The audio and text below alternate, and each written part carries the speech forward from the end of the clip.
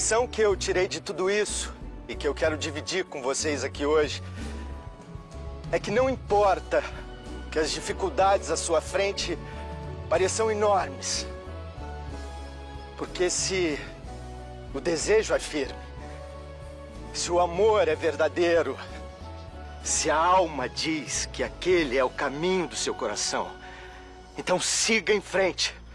Mesmo que todos lhe digam o contrário, siga em frente.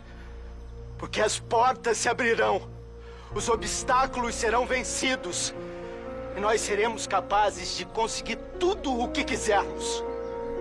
Eu agradeço. Agradeço a força de cada um de vocês.